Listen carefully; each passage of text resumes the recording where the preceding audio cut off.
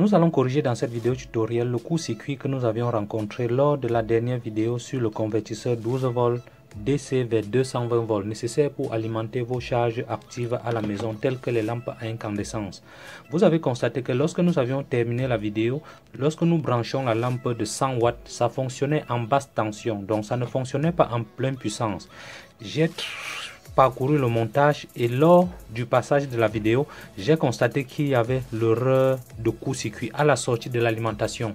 Vous constatez bel et bien que sur ce pont de diode, le condensateur était mal polarisé. J'avais bel et bien expliqué dans la vidéo que le plus du condensateur devait aller au plus du pont de diode et le moins du condensateur devait aller au moins du pont de diode. Étant donné que nous récupérons tous nos composants dans la casse, au cours de ce montage, nous avions inversé la polarité. Donc dans cette vidéo, nous, nous allons corriger cette erreur afin de retester encore le montage. Donc lorsque vous prenez un pont de diode, vous pouvez identifier le plus là ainsi que le moins de l'autre côté. Le plus est de l'autre côté et le moins est de l'autre côté. Et lorsque vous allez monter sur le pont de diode, vous allez également respecter cette polarité, c'est-à-dire ainsi. Donc le plus doit aller au plus et le moins doit aller au moins. Donc nous allons très rapidement souder ce composant et par la suite nous allons retester les, les éléments. D'accord. Donc lorsque vous soudez, vous vérifiez bel et bien que le, les composants sont bel et bien soudés. nous n'allons plus vite faire comme nous avions fait la dernière fois et ça a apporté des erreurs. Et puis le montage n'a pas fonctionné, ça fonctionnait en court-circuit. Et pour bien faire le montage, vous pouvez mettre la pâte à souder dessus. Et lorsque vous soudez, vous devez patienter un instant, le temps que la soudure tienne parfaitement. Si vous bougez très rapidement, ça va faire les soudures sèches. Donc voilà ça maintenant. Voilà le moins du pont de diode qui part au moins du condensateur. Le plus du pont de diode qui part au plus du condensateur. Et puis les entrées alternatives vont aller respectivement à la sortie du transformateur haute fréquence que nous avions bobiné dans la précédente vidéo. Nous avions sur ce transformateur haute fréquence, nous avions 90 tours au primaire et 3 tours x 2 du côté secondaire. Et lorsque vous bobinez un transformateur comme ça, ça vous produit une tension de 220 volts sous une tension d'entrée de 12 volts. Donc nous allons souder en sortie. Donc nous allons souder le pont de diode en sortie comme nous avions respecté là la dernière fois. Bien avant ça, je vais un peu écarter les pattes de telle en sorte que ça puisse bien se tenir sur le montage. Une fois le montage effectué parfaitement, vous vérifiez encore à nouveau que vous n'avez pas fait de court-circuit. Donc voilà le moins du pont de diode qui part au moins du condensateur et le plus du pont de diode qui part au plus du condensateur. Et puis nous avons connecté ça au côté haute tension du transformateur haute fréquence. Nous allons utiliser ici pour exciter avec l'oscillateur à MOSFET que nous avions réalisé la dernière fois. Donc pour bien faire le montage, il doit falloir couper et puis étamer les bouts pour faire des bonnes soudures. Donc vous pouvez couper d'abord comme ça. Ensuite vous trempez dans la pâte à souder. Ainsi pour faire de la bonne soudure et éviter les soudures sèches. Vous tremper un peu dans la pâte à souder comme ça. Et par la suite nous allons poser et tout d'abord étamer le bout des, des, des conducteurs. Étamer revient à mettre un peu de l'étain sur ce bout de conducteur. Et par la suite, vous prenez également la pâte à souder vous mettez sur les côtés où vous allez souder les fils en question. La pâte à souder, c'est pour permettre de, bien souder. Et une fois étamé, vous pouvez également augmenter un peu euh, euh, l'étain dessus, de telle en sorte que la soudure va bien adhérer. Donc nous allons prendre cet oscillateur et connecter à ce niveau sur les extrémités du pont redresseur. D'accord, lorsque vous soudez, vous patientez un peu de telle en sorte que la soudure puisse bien adhérer. Si vous bougez très tôt, ça va faire les soudures sèches et ça ne va pas tenir sur la durée. D'accord, donc voilà la soudure qui a été terminée. Et puis nous allons utiliser le point milieu pour l'alimentation. Donc je peux utiliser ce bout du conducteur. Donc, je peux dénuder ce bout du conducteur comme ça, ça va me permettre de différencier toutes les différentes pâtes. Et bien avant ça, je vais tremper un peu sur la pâte à souder. Et après avoir trempé, il doit falloir étamer. Étamer revient à mettre un peu de l'étain là-dessus. D'accord, je vais souder ici à ce milieu. Donc lorsque vous posez, vous patientez un peu le temps que ça adhère parfaitement. Donc voilà en fait le montage qui est terminé. Et afin de bien faire les tests, nous allons souder plutôt une douille là-bas en sortie. Et la sortie, c'est au borne de ce condensateur de réserve d'énergie. Donc, vu que les bouts sont déjà étamés, je vais directement souder là-dessus. Très bien, ça soude parfaitement. Donc, ça voudrait dire que c'est en continu directement. Voilà la raison pour laquelle au départ, je vous ai dit que c'est fait pour alimenter des charges actives telles que les lampes, des fers à repasser, des circuits de chauffage. Donc voilà le montage qui est terminé. Nous allons déjà passer au test. Nous avions ici en entrée un fusible qui va rompre au cas où nous faisons peut-être des erreurs. Donc il va falloir arrêter de telle en sorte que ça puisse se tenir dans la fenêtre d'enregistrement. Une autre possibilité, c'est de dessouder ici complètement et souder directement le fusible à ce niveau. Ceci va me permettre d'éviter les erreurs. Donc pour ça, je vais d'abord étamer un peu le fusible. Étamer revient à mettre un peu de l'étain là-dessus. Et après avoir étamé, nous pouvons arrêter et souder parfaitement. Très bien. Lorsque vous soudez comme ça, ça vous permet d'éviter les erreurs. Et puis là, nous allons alimenter le plus là. Également, une autre possibilité revenait à enlever le fil conducteur plus et puis passer directement le 12 volts là-dessus. Et une fois le montage terminé, il doit falloir nettoyer la surface avant le test. Ceci, c'est pour éviter les erreurs de court-circuit. Il faut nettoyer parfaitement avant de passer au test. Donc pour ce test, je vais d'abord prendre une petite lampe et puis nous allons tester avec. Je vais brancher là.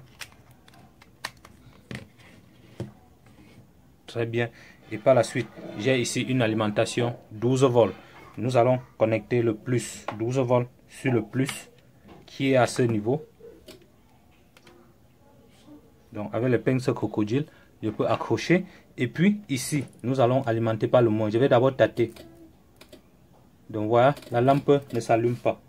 Mais je ne sors pas le court-circuit comme je sortais avant. Là, je constate que je sors une tension très élevée courant très élevé en sortie. Donc je vais changer un peu la lampe. Je vais prendre cette autre lampe.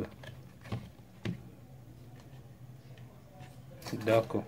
Et puis je vais retester encore à nouveau. Je me rassure que tout est bien connecté. Et que je n'ai pas fait l'erreur. Plus. Une fois de plus. Non, je n'ai pas fait l'erreur. Le moins du condensateur. Pas vraiment au moins de l'alimentation. Et le plus est là.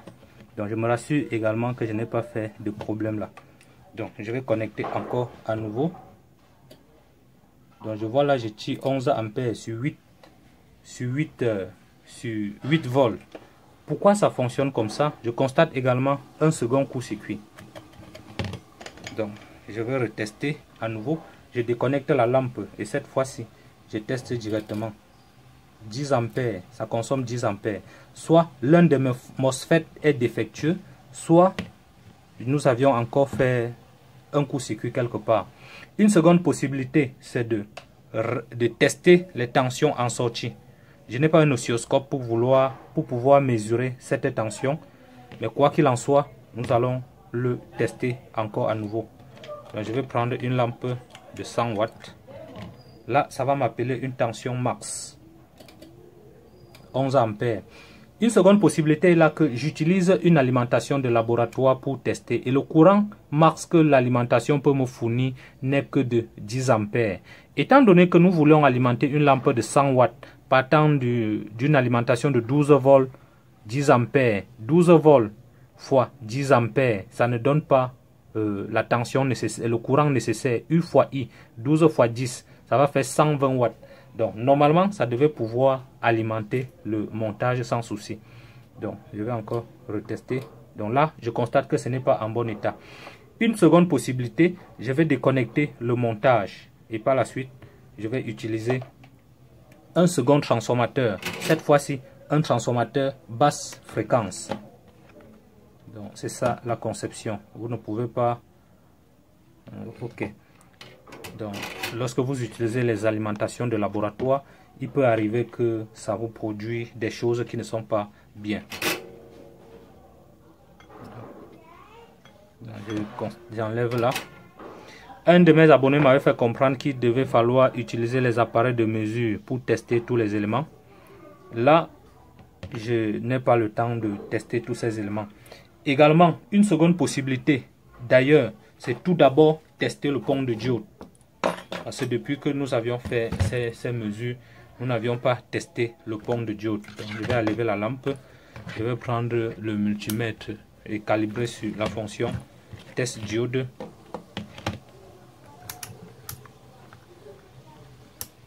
D'accord, fonction test diode.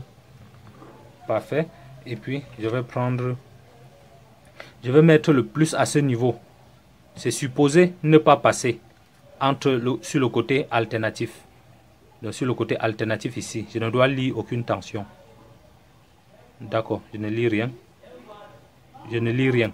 Par contre, si je permute, je vais lire la tension seuil de l'une des diodes, des deux diodes. D'accord, là c'est bon. D'accord, là c'est bon. Et puis si je mets le plus ici, je vais lire la tension seuil d'une des, des diodes là et là. Par contre, si je permute les, sondes, je vais ne vais rien lire. Donc là, voilà, il fonctionne. Donc une notre hypothèse peut arriver que le MOSFET, euh, le, euh, le transformateur chopper que j'ai là, peut ne plus être en bon état. Donc je vais prendre ce transformateur basse fréquence et puis je vais procéder au test avec donc cet élément, je vais mettre ici en sortie. D'accord.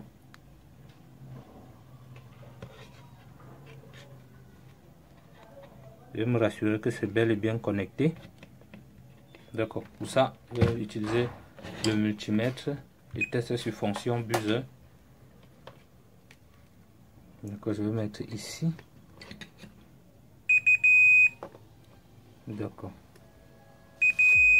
D'accord, là c'est bien connecté. Et puis je vais utiliser l'oscillateur que nous avions câblé. Nous allons mettre le plus sur les autres bornes à ce niveau. Donc pour ça, je vais d'abord dénuder. Il y a tellement dénudé les conducteurs là que c'est sur le point de se déterminer même. Donc il y a autre possibilité. Il faudrait que je me rassure que je n'ai pas fait de coup-circuit. Donc ça c'est l'inconvénient lorsque vous récupérez les composants dans la casse pour faire vos montages. Vous devez vous attendre à toute éventualité. Si vous n'avez pas assez d'argent pour acheter les composants neufs et faire des tests, vous, allez bricoler comme ça jusqu'à trouver les résultats. Une fois les résultats trouvés, vous pouvez maintenant aller acheter les composants neufs. Donc là, voilà le montage qui a été placé. Nous allons tester avec une lampe. Donc je vais mettre cette lampe lampe économique. D'accord. Nous allons mettre cette lampe économique je vais prendre la tension. Nous allons alimenter le plus, toujours ici sur le point milieu du transformateur. Et puis le moins, je vais mettre à cette entrée. S'il y a erreur, vu qu'il y a le, le fusible, ça va protéger. Donc là, je lis toujours une tension max. Donc, je sous-entends que le condensateur que j'utilise n'est plus en bon état. Donc voilà, c'est la conclusion plausible. Donc je vais tout d'abord dessouder. Donc vous n'avez pas d'autre choix. Je vais dessouder le condensateur. D'accord. Voilà, j'ai dessoudé. Je vais un peu tester. Donc voilà, la dernière fois, le, la vidéo est allée au-delà qu'il ne le fallait. Donc là, je calibre sur la fonction capacimètre et j'essaie de mesurer. Vous voyez là.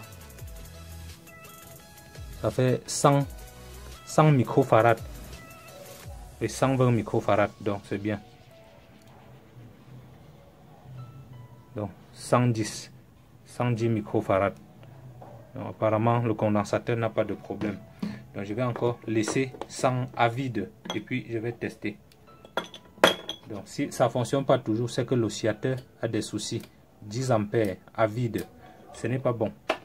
Je déconnecte le pont de diode Je mets derrière. Et ensuite, je teste encore à nouveau. 11 ampères. Donc la tension n'est pas bonne. L'oscillateur ne fonctionne pas. Le gars, le problème sur ce montage n'était pas seulement les condensateurs, y compris les MOSFET étaient tous en court-circuit. Voilà la raison pour laquelle ça nous donnait des baisses de tension.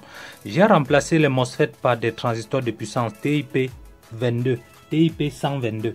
Nous allons observer TIP 122.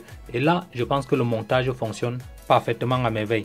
Étant donné que l'alimentation avec laquelle je teste ce montage ne peut pas me permettre de tester de grandes puissances de 100 watts, si j'avais une batterie ici au laboratoire chargée, j'aurais pu faire le test avec. Donc je vais pour le moment tester juste cette ampoule économique, vous allez voir. Donc nous aurons euh, une alimentation de 12 volts comme vous avez vu connecté là et puis nous avions ce fusible je vais connecter vous allez comprendre le sifflotement du transformateur haute fréquence voilà, l'ampoule s'allume déjà parfaitement. Et sur l'alimentation, je suis en train de tirer 11,13 ampères. Je ne sais pas pourquoi ça consomme autant. Je vais analyser encore le montage pour essayer de rectifier le tir et voir où se trouve le problème. Donc dans la première vidéo, le problème n'était pas, seulement au niveau de la polarisation du condensateur de sortie, mais tous les deux MOSFET également étaient en court-circuit. Donc, vu que nous récupérons tous les composants dans la casse, il peut arriver que ces composants ont déjà atteint les demi-vie.